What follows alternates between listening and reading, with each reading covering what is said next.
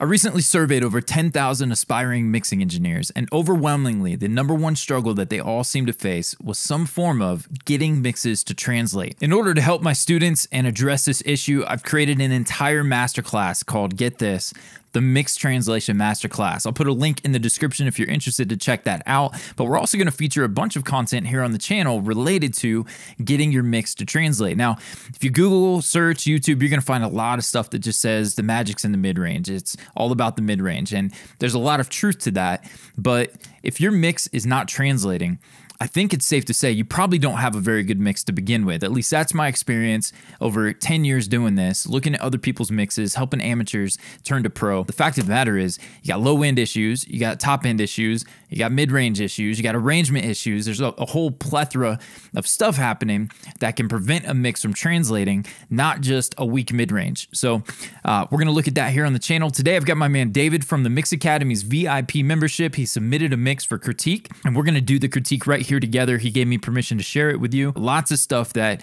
uh, his is actually a really good mix. We're going to look at some creative ideas to help the mix stand out. We're going to look at uh, sonic frequency range things that are happening that we need to tighten up. And uh, yeah, so we're going to dive in. This is the first video in the series. But again, check that out. If you're interested in the full course, I'll put a link in the description. So right out of the gate, we're going to hit play. But if you don't want to listen to the full mix, maybe just listen to the first little bit. I'll put a timestamp where you can skip ahead to where we start breaking down. Uh, I've got about a page of notes here that we're going to look at together. So here we go. We're going to play the song and dissect this mix from my man David.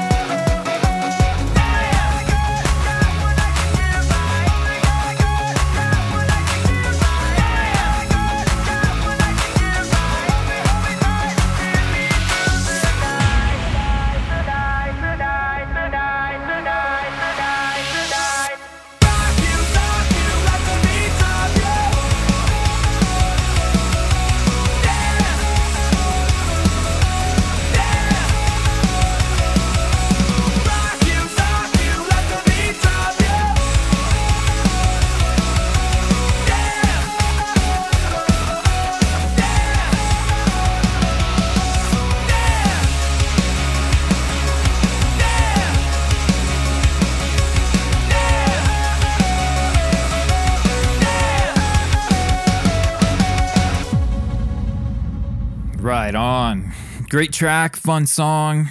lots of energy, really digging it. I got a lot of notes, but it doesn't mean that this is a bad mix. It's actually one of the better mixes that's ever been submitted uh, to me through the Mix Academy. So super pumped to dive in. But uh, real quick before we get going, anyone who's interested to have me critique your mix, like you're going to see here, I'll put a link below. I have a custom mix critique service. I also offer this for annual and lifetime members of the Mix Academy. So we'll put that down in the description. But with that, let's dive in. So, uh, David, addressing specifically to you. So your mix, great work, man. You got a great song here. For those of you watching, David mentioned he uh, is in the post world, so audio for post and uh, video production. So he hasn't mixed in I think he said like ten years, eight years, something like that. Was reading in the the Mix Academy Discord. So to come back into music and deliver a mix like this, killer job. So Dead Space after the Tom intro fill, and a lot of these are very specific. So bear with me. We're just going to kind of work through them. Uh, there's some dead space here after the intro Tom fill. Right there, that kind of it's done. The toms, there's no uh. So what I was thinking there was a lot of times you want those tight toms because in the context of the mix, you get the bass and the kick and all that kind of happening. Um, go ahead and duplicate those toms uh, the toms tracks or what have you. But then let's extend the tail or open those up at these parts where they need a little more low end oomph, right? And so you got this kind of dead before it hits. Um, either kill everything so it's like a dead stop, or let's get some extension on them, get a little more oomph so they carry over. Uh, I mentioned here in my notes, or add a sub drop to hit down the middle with the floor tom uh, go into a sub splash. We'll go ahead and show you that. Need a little bit more low end from the toms overall. And then I said, if you add, let's see, if the added low end triggers, oh, we get it couple couple things here. We're complicating it here right out of the gate, but um, I went ahead. I pulled in an 808. I don't know if it's tuned correctly, but it'll serve the purpose. Um, I think I originally had this here, like on the floor tom. Let's find that floor tom.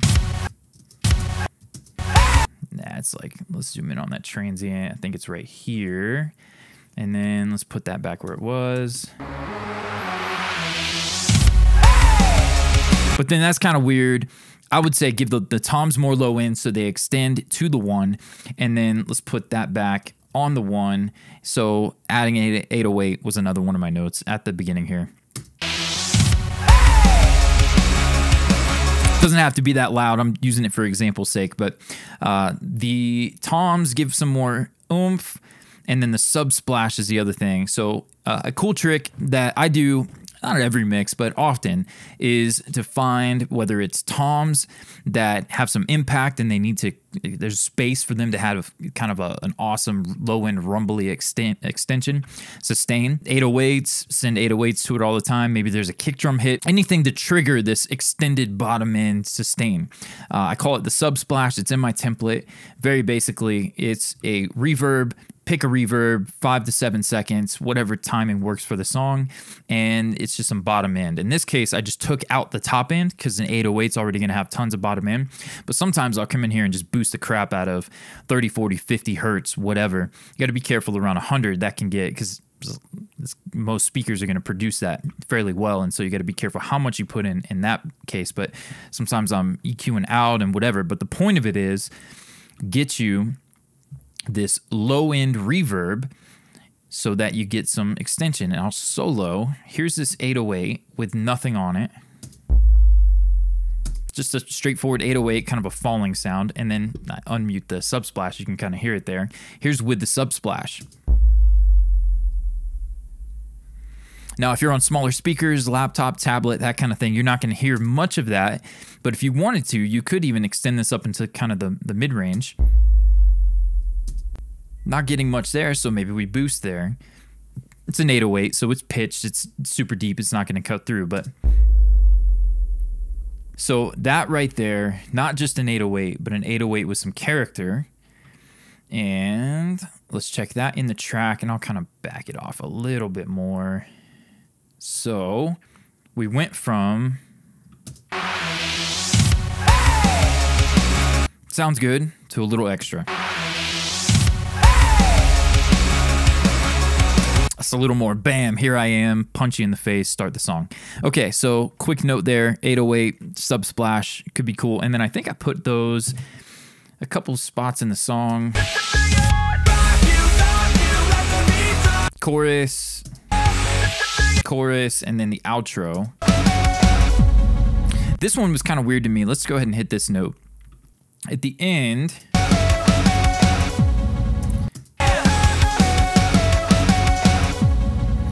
that uh, bass drop, sub drop at the end, it's kind of like you have the bump, bump, bump, bump, bump, and then boom. It's I don't know. It's kind of anticlimactic to my ear. So what I was gonna recommend was instead take out. Obviously, this is kind of like a mastering situation here. You wouldn't do this in mastering, but I only have a two track. I'm not working with the full mix. What I would do is maybe put an 808 or move that sub drop on the last tom hit so you get something like this instead. And then let the synth and stuff ring out. So what was that pattern? Dun dun dun dun bum. Now that it's ended and not dun dun dun dun bum bum whatever it was before. Um, that super st- stupid, simple, quick note, small potatoes, but wanted to throw that out there. Uh, next up, the radio voice. Let's go. These notes are all over the place, so keep uh, we'll keep moving. The uh, pan the radio voice in verse one. Let's go find verse one. Probably in here.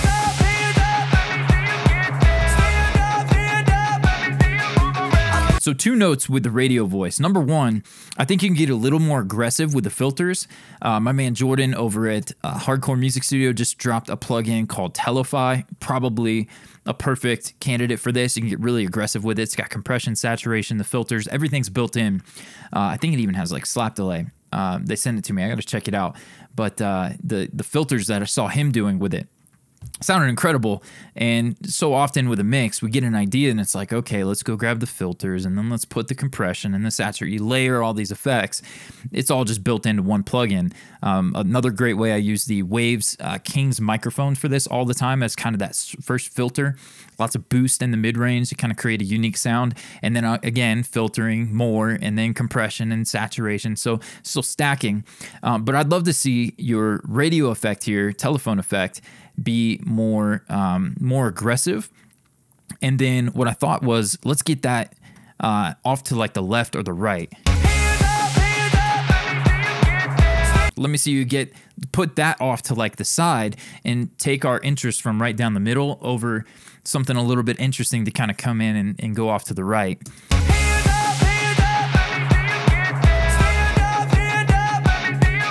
And then maybe that next one pan to the left. And so now you've kind of given us little little teas to the right, little teas to the left, get some ear candy going for the left and right, create some some more interest there. Make the delayed phrase. I actually don't know what I think is I bring I bring the beat, I think is what he's saying.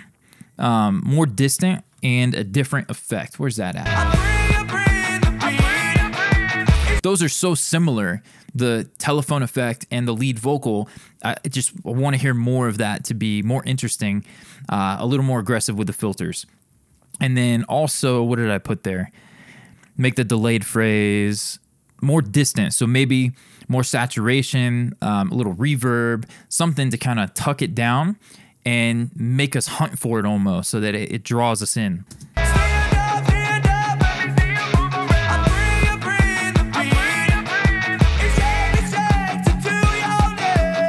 And then that phrase there, I didn't put a note. Actually, I think it did put a note for creating doubles and uh, thickening parts for the vocal.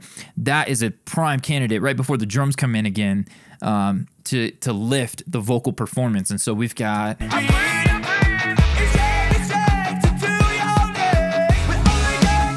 Right before that next vocal, let's get something stereo where it's the doubled. If you don't have a double, obviously, you probably would have used it. Let's create a fake double with Waves Reel ADT. You can use your stock delay. Uh, come in here and we'll go with just the stock Pro Tools delay. Any DAW is going to have you a stereo delay. What you're going to do for fake stereo is turn off the left, so 0% wet, and then the right, we'll put it like 35 milliseconds here. And that's going to create, so this track is already stereo, but now it's going to do this fake stereo thing. So for that phrase, I would love to have you set that up on a send or your favorite doubling plugin and go throughout the track and you'll find certain phrases that just are going to feel good to pop open and elevate above the track a little bit more before um, to, to emphasize lyric, but also to kind of serve as a transition to that next section. Uh, so that, let's see here, make the delayed phrase a different effect. We talked about that. The call and response vocals in the B section need to sound significantly different and maybe more ambience on the second part. I think that is that.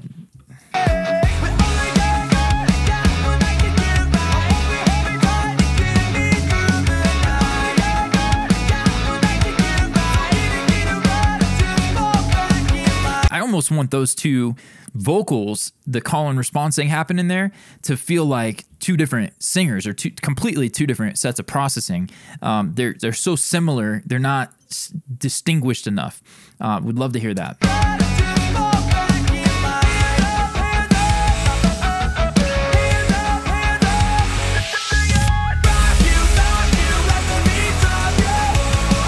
Next note, the pre-chorus needs something to make it pop. I put a note here for automating the kick, snare, and hat hits right before. Um, so that's that's one note to help the pre-chorus pop a little bit. Let's talk about that.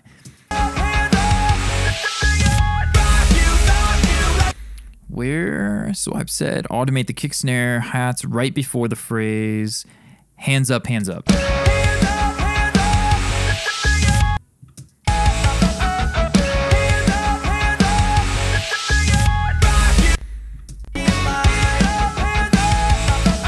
Probably right there.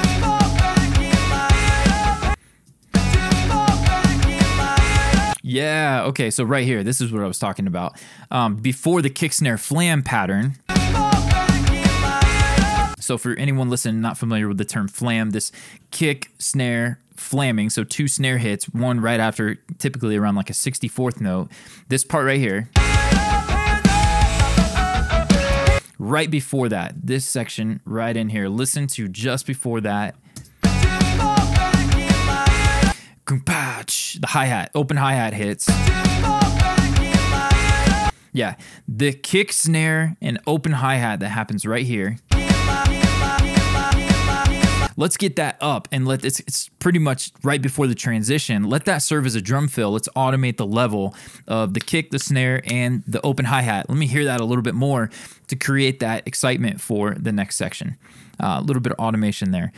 Uh, then let's see, maybe add some room sound to the drums or a crushed amp tone here, something to make the kick snare flam section pop. So something here to change the drum sound a bit. Like a room sound, uh, bust the drums, kick snare, toms, whatever, into like a SansAmp kind of vibe, a crushed room sound and pull that up here a little bit to create some separation for the drums. Uh, something interesting there right before the chorus is great. The chorus is driving, you know, smacks you in the face. You got you got great sounding drums. The transients are all of it sounds really good. But something here to create interest before the chorus. Next note, the chorus needs to be louder. I mentioned here the stereo bus trick back to zero dB. So here we go. Uh, I've talked about this on the channel before. Anyone watching, basically the stereo bus loudness trick is going to be to drop your overall mix 1 dB from the beginning, okay? And then at the chorus, sometimes at the pre chorus, I'll lift it up as well a little bit. But here at the chorus, let's go here. I've already actually, yep, out here I did the trick, but let's go ahead and we'll do it again here for the chorus. Bam. Okay, so, but in order for that to work, I got to come in here and drop this 1 dB for example's sake, bear with me just a second. There we go. Okay, so now we'll say you've got your mix down from the very beginning to minus one. Maybe this intro right here, we'll pull that back up to zero. Now the intro, this stuff happening here, but then bam, at the one to however far out, we'll pull that back up to zero dB. So now we've brought it up a dB. So now not only do more instruments come in and you kind of get that that effect of boom, the song starting, now the volume is going to jump and help it kind of create more excitement. Same thing at the chorus. So we'll go out here. right there. So got that 808 happening. Sounds sick. It's kind of like the what was that? Boys Like Girls mixed by CLA, I think. Um, very similar kind of vibe. This song. Because we'll just say for that whole chorus, I'm not obviously highlighting all of it, but let's look at the effect. Here's without it. We'll turn this off.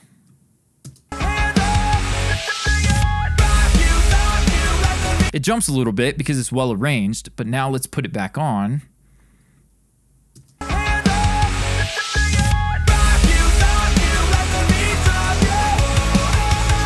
Right on. And so for this track, it may be a little bit much. Maybe half a dB would work better.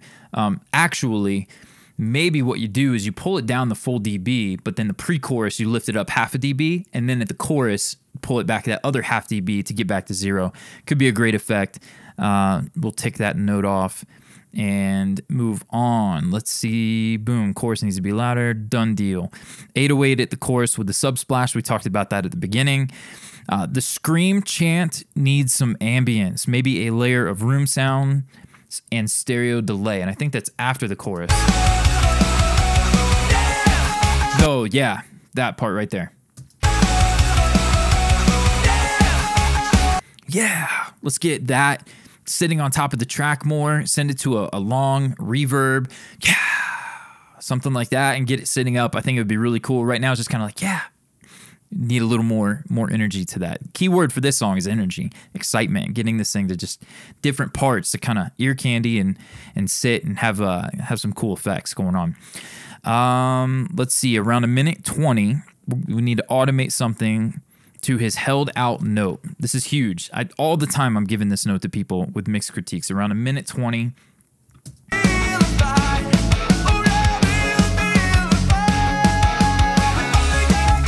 holding that note out.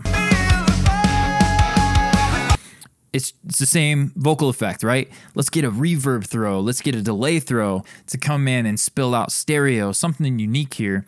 Um, oh, you know what? Real quick, the yeah, I came up with some processing. Was to filter them. What was it? The delay was a stereo delay. Ah, I, we already talked about that. We don't need to go through it. A delay into a reverb, something cool would be cool there. I think, did I? Oh, yeah. So I pulled them apart. I will play this for you real quick, and then we'll go back to that thought. Hear that?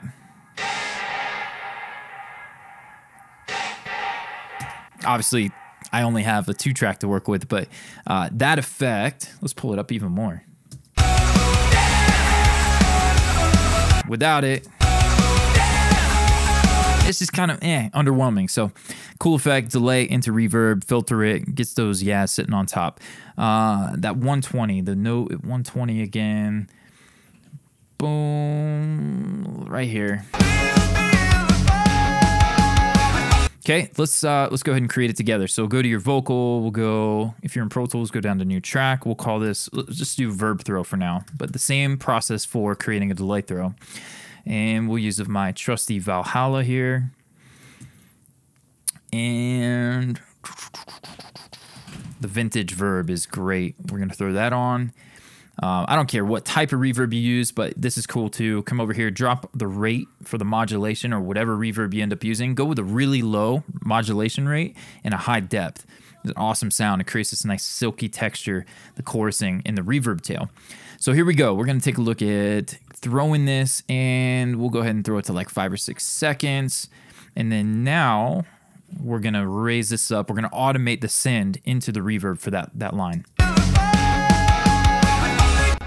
Back up a little bit. Obviously, it's a two track. Anyone listen back, this would be specific to the lead vocal track. But for example's sake, here we go.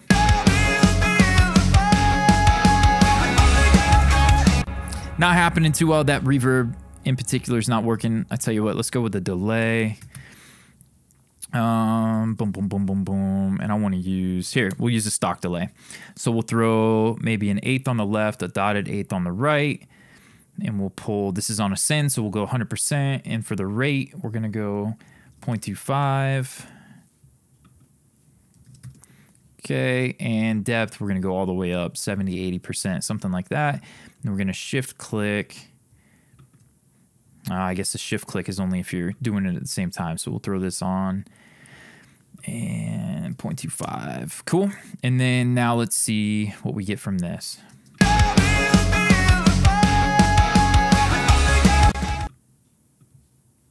It'd be nice to have some feedback. Boost that like crazy.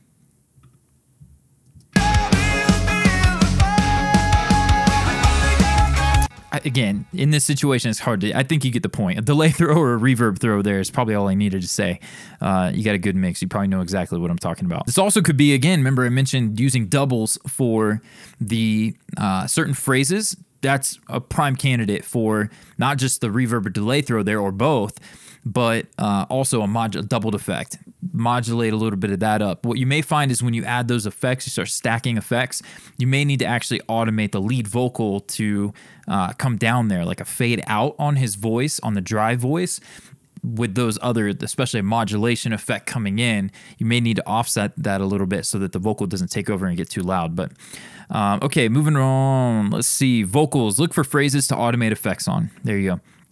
Uh, next note, make delays at 122 stereo to add interest out wide. Quick look at that.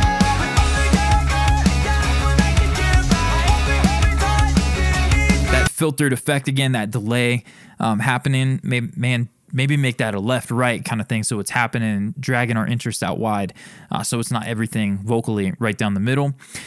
Um, a high cut filter automation at 138. Let's go check that.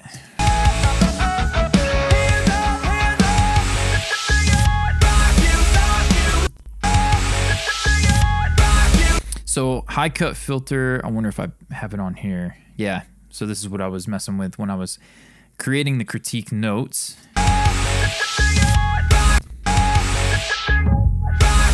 Something there to have something sweep down. Um, but not everything like this, but something there to uh, to kind of suck it all out, and then bam, the chorus happens and it hits again and explodes. Uh, boom, boom. Let's check these notes off so we don't keep going through and make delays. We talked about that. High cut filter automation. Kill the synth and make a full dead stop at 231.5. All specific with my note here. 231. Okay, right here. That synth.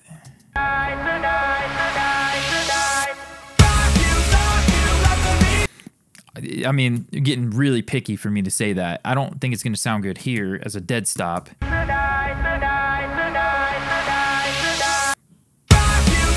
It, doesn't sound good to take care of take everything out.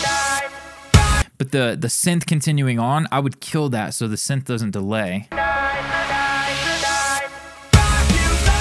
Yeah, I, I think that's what I was referring to there was possibly killing the synth, um, so that the vocals last thing you hear, bam, punches you in the face.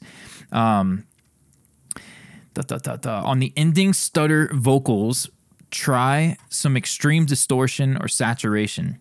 The stutter vocals at the end, so it's probably coming in. Those I feel like those can just get those on top of the mix. A little more grit, saturation, um, get those up. I think is is basically what I'm saying there. And uh, moving on. So ending, the last tom should be the last hit of the song. We talked about that with the 808. Uh, fade out ends abruptly. If the sound ends quick like that, I'd send it to a reverb. So let's listen to what I'm talking about there. The end is abrupt. So let's mute what I did with the 808.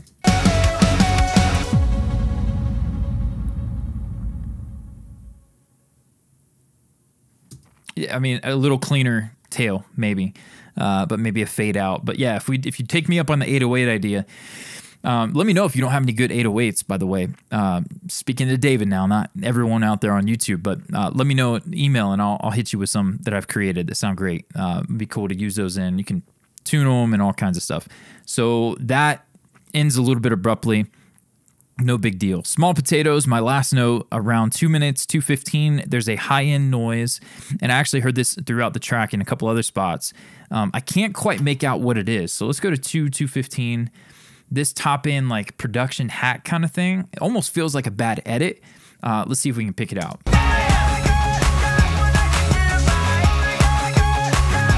It is. It's the kind of thing happening on the right ear.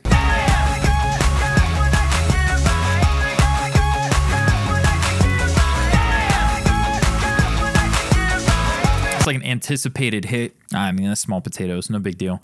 Um, to me, it just it felt like it either needed to come up and stand out a little bit more, or be filtered so it's not and it's more like if that makes sense. So instead of featuring, if you come in here, if you go to that production track. Um, if it's not on its own track, you might be limited to this, but maybe pull out some of this uh, and pull up some of that kind of thing, 1K or something. Uh, but again, small potatoes. So, David, there's a critique. You guys watching on YouTube, man, thanks for sticking with me. Hopefully, you enjoyed that. You can learn a ton by dissecting up against a reference, which is what I did. In fact, I probably should show that off. Eh, I've shown that off a ton on the channel. Go check out the low end trick. I'll link it above and down below, uh, where you can filter out, learn how to filter out, not just pull in a reference and compare your song to another. That's not going to do very much for you. But if you really get in and you drop with a, a high cut filter, and you listen to what your bottom end is giving you. I'll show you super quick.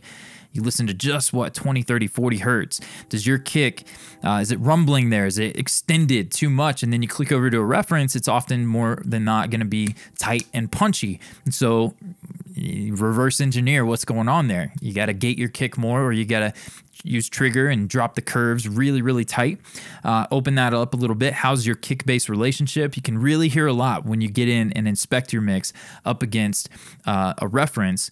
Uh, a couple things to keep in mind definitely want to make sure you're going through a loudness chain when you pull in a reference it's been mastered you want to make sure your mix is at least going through some sort of loudness processing again check out the full video where i go through all the detail on that and then also uh, level match even if you throw it through level uh, processing, you may not be able to get it quite to what a mastering engineer would. Um, check out my mastering in the box workshop. I'm going to show you exactly how to deliver industry level uh, loudness when you need it, whatever. Got to serve the client. But um, uh, loudness processing, level match is still important because if you don't get it quite as loud, um, you still want to make sure you pull down that level of the of the reference track so you can compare the apples to apples. But, uh, anyways, David, thanks again for sharing your track and uh, giving me the opportunity to share some thoughts, trusting my ears to help you. You guys check out that, uh, forgetting the name of my own course. I've renamed it like three times, but the Mix Translation Masterclass complete start to finish to help you deliver incredible mixes, go from amateur to pro, and then also to help them translate and sound great everywhere. So there you go. Links in the description. We'll see you guys in the next one.